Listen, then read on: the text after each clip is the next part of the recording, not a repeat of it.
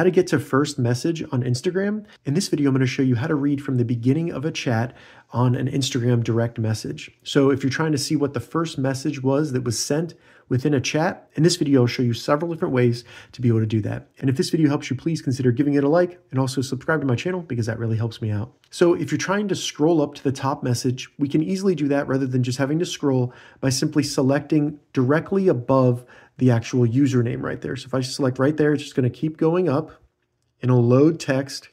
And as I keep doing that, it's just going to load the next text until I get up to the very top. Now, if yours is very long and you don't want to have to keep pressing it, the next thing we can do is select the username of the person in the chat.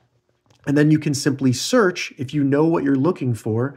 So if you're looking for a certain word or something like that, you can select search, type it in, and then it will bring up that text and when it was made. So I can select it and it'll bring me to that text in the chat. Now, if none of these have been successful, we can definitely see the first chat by simply downloading the entire chat from Instagram. And to do that, simply navigate to your profile on Instagram, then select the three lines in the top right. After that, select Account Center, and then just scroll down and select Your Information and Permissions.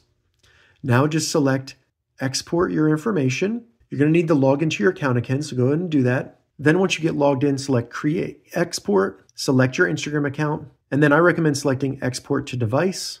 And then in here, what I recommend doing is having the format as HTML. In date range, go ahead and select that. And you want it to include the time frame of the chat that you're looking for.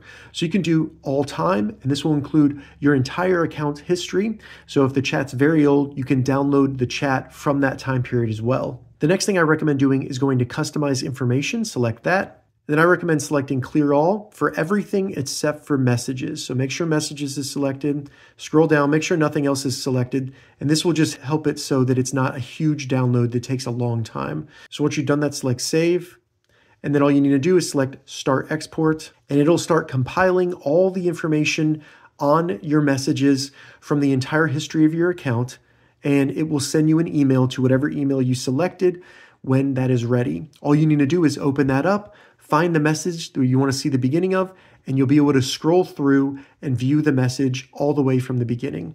If this video helped you, give it a thumbs up, and please consider subscribing to my channel.